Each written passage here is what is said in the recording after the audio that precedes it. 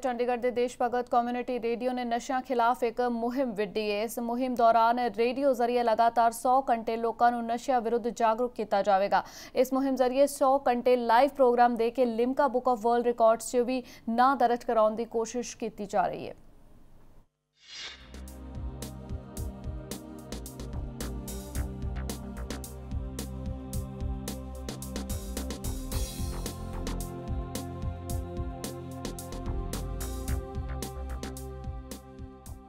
ਚੰਡੀਗੜ੍ਹ ਦੇ ਦੇਸ਼ Bhagat community radio ਨੇ ਨਸ਼ਿਆਂ ਖਿਲਾਫ ਇੱਕ ਐਸੀ ਮੁਹਿੰਮ ਛੇੜੀ ਹੈ, ਜਿਸ ਨਾਲ ਜਿੱਥੇ ਚੰਡੀਗੜ੍ਹ, ਮੋਹਾਲੀ ਅਤੇ ਪੰਚਕੂਲਾ ਦੇ ਲੋਕਾਂ ਨੂੰ ਨਸ਼ਿਆਂ ਪ੍ਰਤੀ ਜਾਗਰੂਕ ਕੀਤਾ ਜਾਵੇਗਾ, ਉੱਥੇ ਹੀ ਲਗਾਤਾਰ 100 ਘੰਟੇ ਲਾਈਵ ਪ੍ਰੋਗਰਾਮ ਦੇਣ ਦਾ ਨਵਾਂ ਰਿਕਾਰਡ ਵੀ ਸਥਾਪਿਤ ਕੀਤਾ ਜਾਵੇਗਾ।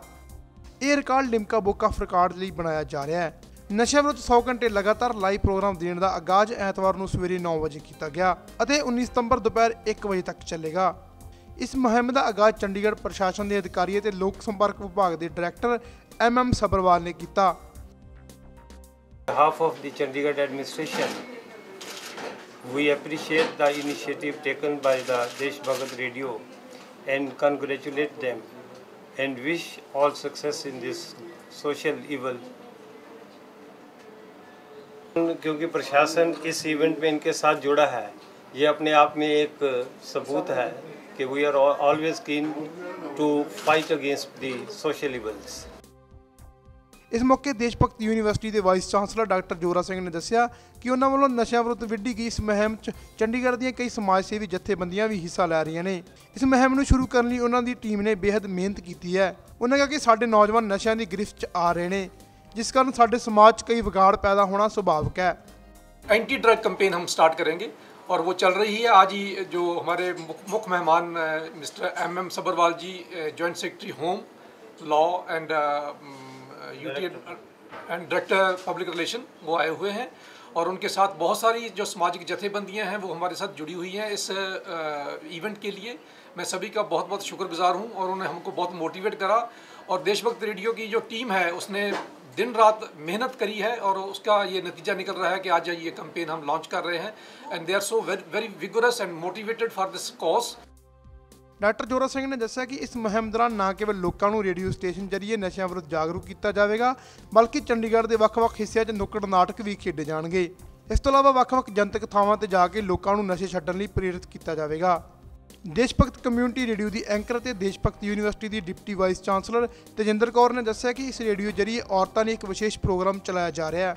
ਇਸ ਪ੍ਰੋਗਰਾਮ ਜਰੀਏ ਔਰਤਾਂ ਨੂੰ ਇਸ ਗੱਲ ਲਈ ਪ੍ਰੇਰਿਤ ਕੀਤਾ ਜਾਵੇਗਾ ਕਿ ਉਹ ਆਪਣੇ ਪਰਿਵਾਰ ਨੂੰ ਨਸ਼ਿਆਂ ਤੋਂ ਦੂਰ ਰੱਖਣ ਲਈ ਉਪਰਾਲੇ ਕਰਨ। ਔਰਤ ਹੀ ਇੰਨੀ ਵੱਡੀ ਸ਼ਕਤੀ ਹੈ ਕਿ ਉਹ ਆਪਣੀ ਫੈਮਿਲੀ ਨੂੰ ਤੁਸੀਂ ਅੱਛੇ ਰਸਤੇ ਪਾ ਸਕਦੇ ਹੋ, ਤੁਸੀਂ ਅੱਛੇ ਸੰਸਕਾਰ ਸਿਖਾ ਸਕਦੇ ਹੋ। ਜੋ ਅੱਜ ਕੱਲ ਆਪਾਂ ਸੁਣਦੇ ਹਾਂ ਰੇਪ ਹੋਇਆ, ਇਹ ਬਹੁਤ ਖਰਾਬ ਚੀਜ਼ਾਂ ਹੋ ਰਹੀਆਂ। ਇਹ ਚੀਜ਼ਾਂ ਇੱਕ ਔਰਤ ਹੀ ਆਪਦੀ ਫੈਮਿਲੀ ਨੂੰ ਆਪਦੀ ਆਪਣੀ ਸੁਸਾਇਟੀ ਨੂੰ ਚੇਂਜ ਕਰ ਸਕਦੀ। ਨਸ਼ਾ ਦੀ ਇਸ ਮੁਹਿੰਮ ਵਿਰੁੱਧ ਉਹ ਲੋਕ ਵੀ ਜੁੜੇ ਹਨ ਜਿਹੜੇ ਕਿਸੇ ਸਮੇਂ ਖੁਦ ਨਸ਼ੇ ਕਰਦੇ ਸਨ। ਅਜਿਹੇ ਲੋਕਾਂ ਦਾ ਕਹਿਣਾ ਕਿ ਨੌਜਵਾਨ ਸ਼ੌਂਕ ਦੇ ਤੌਰ ਤੇ ਨਸ਼ੇ ਲੈਣਾ ਸ਼ੁਰੂ ਕਰਦੇ ਹਨ ਅਤੇ ਫਿਰ ਹੌਲੀ-ਹੌਲੀ ਇਸ ਦੀ ਗ੍ਰਿਫਤ 'ਚ ਫਸ ਜਾਂਦੇ ਹਨ। ਇਸ ਲਈ ਨੌਜਵਾਨਾਂ ਨੂੰ ਨਸ਼ਿਆਂ ਵਿਰੁੱਧ ਜਾਗਰੂਕ ਕਰਨਾ ਬੇਹੱਦ ਜ਼ਰੂਰੀ ਹੈ। मुझे लगता है कि जितने ड्रग यूज़र्स हैं अगर वो वापस आके हम लोग ही मोटिवेट नहीं करेंगे लोगों को कि वो छोड़ें इस आदत को। तब तक लोग इसको नहीं छोड़ेंगे। प्रॉब्लम ये आती है कि लोगों को लगता है कि वो उसको नहीं छोड़ पाएँगे। और यही सबसे मुश्किल चीज़ होती है क्योंकि लोग एक बार इसको छोड़ देते हैं तो वापस आके उसी समुदाय के लिए काम नहीं करते जिसका हिस्सा होते हैं। और ये एक पहल थी जो मुझे लगा था मुझे लेनी चाहिए और बाहर आना चाहिए। बिल्कुल जी सभी लोग इसको शौकिया तौर पर शुरू करते हैं। कोई भी ऐसा नहीं है जो इसको स्टार्ट करता है कि मैं इसका आदि हूँ। लेकिन धीरे धीरे आदत पड़ती है और इसीलिए कब आदत पड़ती है किसी को नहीं पता चलता है। तो एक अगर आप ड्रग यूज़र का लाइफ देखोगे तो प्रोग्रेशन जो होती है सबकी एक ही तरह से होती है। ਦੇਸ਼ ਭਗਤ ਯੂਨੀਵਰਸਿਟੀ ਦੀ deputy vice chancellor Tejinder Kaur ਦਾ ਕਹਿਣਾ ਕਿ ਇਸ ਮੁਹਿੰਮ ਜਰੀਏ ਉਹ ਆਪਣਾ ਨਾਮ ਲਿਮਕਾ ਬੁੱਕ ਆਫ ਰਿਕਾਰਡ 'ਚ ਦਰਜ ਕਰਵਾਉਣਗੇ। ਇਸ ਰਿਕਾਰਡ ਲਈ ਪਹਿਲਾਂ ਪੰਜਾਬ ਯੂਨੀਵਰਸਿਟੀ ਦੇ ਰੇਡੀਓ ਸਟੇਸ਼ਨ ਵੱਲੋਂ 72 ਘੰਟੇ ਲਾਈਵ ਪ੍ਰੋਗਰਾਮ ਦਿੱਤਾ ਗਿਆ ਸੀ, ਜਿਸ ਨੂੰ ਤੋੜ ਕੇ ਨਵਾਂ ਰਿਕਾਰਡ ਸਥਾਪਿਤ ਕੀਤਾ ਜਾਵੇਗਾ। ਦੇਸ਼ ਭਗਤ ਕਮਿਊਨਿਟੀ ਰੇਡੀਓ ਜੋ ਹੈ 100 ਆਵਰਸ ਡਰੱਗਸ ਦਾ ਕਰ ਰਿਹਾ ਹੈ, ਸਾਡੀ ਇਹ ਕੋਸ਼ਿਸ਼ ਹੈ ਕਿ ਅਸੀਂ ਲਿਮਕਾ ਬੁੱਕ ਆਫ ਰਿਕਾਰਡਸ ਦੇ ਵਿੱਚ ਅਸੀਂ ਆਪਦਾ ਨਾਮ ਦਰਜ ਕਰੀਏ। ਸਾਡਾ ਜਿਹੜਾ ਹੁਣ ਕੈਂਪੇਨ ਚੱਲ ਰਿਹਾ ਹੈ 100 ਆਵਰਸ ਡਰੱਗਸ ਦੇ ਉੱਪਰ ਹੀ ਗੱਲ ਕਰਨੀ ਹੈ। ਪੰਜਾਬ ਯੂਨੀਵਰਸਿਟੀ ਦੇ ਕਮਿਊਨਿਟੀ ਰੇਡੀਓ ਸਟੇਸ਼ਨ ਨੇ 72 ਆਵਰਸ ਦਾ ਕੀਤਾ ਸੀ, ਪਰ ਅਸੀਂ ਉਹ ਤੋੜਨਾ ਐਂਡ ਪੂਰਾ ਸੋਚਿਆ ਹੋਇਆ ਕਿ ਤੋੜ ਦੇਣਾ। ਦੇਸ਼ ਭਗਤ ਕਮਿਊਨਿਟੀ ਰੇਡੀਓ ਵੱਲੋਂ ਸ਼ੁਰੂ ਕੀਤੀ ਗਈ ਇਹ ਮੁਹਿੰਮ ਦਾ ਅਸਰ ਆਮ ਲੋਕਾਂ ਤੇ ਪੈਣਾ ਲਾਜ਼ਮੀ ਹੈ। ਇਸ ਉਪਰਾਲੇ ਲਈ ਜੇਕਰ ਸਾਡੀਆਂ ਸਮਾਜ ਸੇਵੀ ਜਥੇਬੰਦੀਆਂ ਵੀ ਆਪਣਾ ਬਣਦਾ ਸਹਿਯੋਗ ਦੇਣ, ਤਾਂ ਸੋਨੇ ਤੇ ਸੁਹਾਗੇ ਵਾਲੀ ਗੱਲ ਹੋਵੇਗੀ। ਇਸ ਦੇ ਨਾਲ ਹੀ ਮੀਡੀਆ ਨਾਲ ਜੁੜੀਆਂ ਹੋਰ ਸੰਸਥਾਵਾਂ ਨੂੰ ਅਜਿਹੇ ਉਪਰਾਲੇ ਕਰਨੇ ਚਾਹੀਦੇ ਹਨ, ਤਾਂ ਜੋ ਇੱਕ ਤੰਦਰੁਸਤ ਸਮਾਜ ਦੀ ਸਿਰਜਣਾ ਕੀਤੀ ਜਾ ਸਕੇ।